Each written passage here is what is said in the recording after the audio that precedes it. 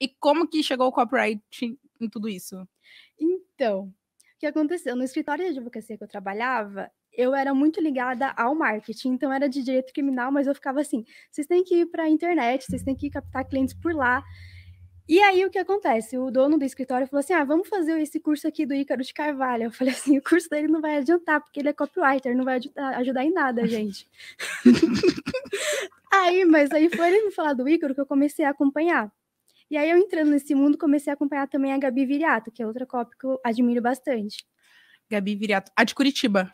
Ela é de Minas Gerais. Ah, não. Acho... Que é a copy da Estela Sandero, sabe? Aquela que fala de, de Canva.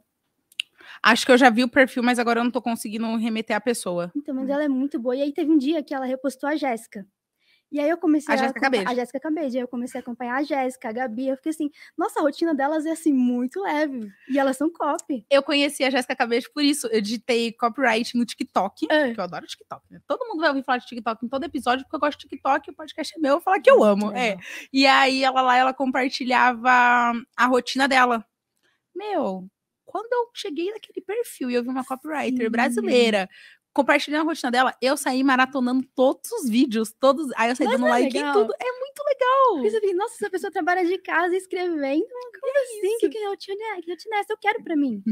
aí eu pensei assim, ah, vou criar um perfil no Instagram, porque já que elas têm, começaram assim, vou fazer também. E aí deu a louca e do nada eu criei o perfil e comecei a falar assim, ai, como converter mais seus anúncios? E nunca tinha escrito um anúncio.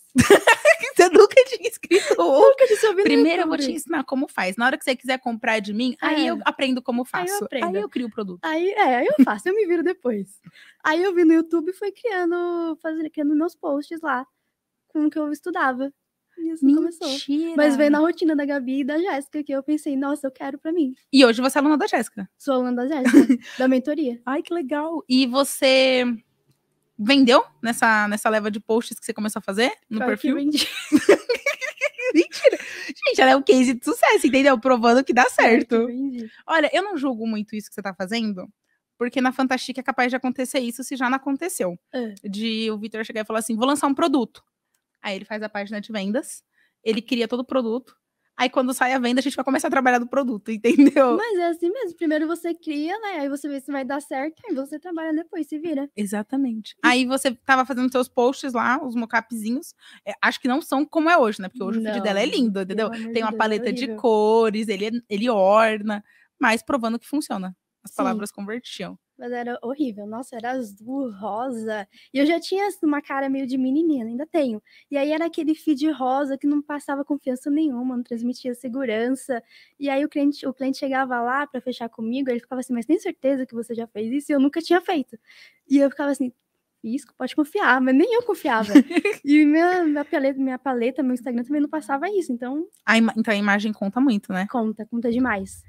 É, mas aí você estava seguindo eles no, no gratuito ou a empresa chegou a comprar o curso do Ícaro? A empresa comprou um curso, mas não era do Ícaro, porque eu falei assim, o Ícaro é copyright, não vai ajudar em nada. comprou, ia te ajudar a menina. Não. Eles compraram outro. Outro. Que era de marketing. Era de marketing jurídico. Ai, aí eles começaram a investir em mim e tal, mas eu acabei saindo, porque era direito criminal, eu fiquei assim, não, isso aqui é muito pesado.